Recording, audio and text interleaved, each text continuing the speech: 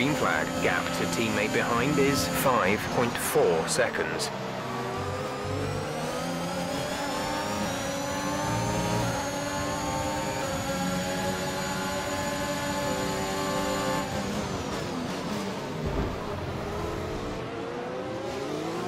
Okay, the gap behind is 1.9 seconds.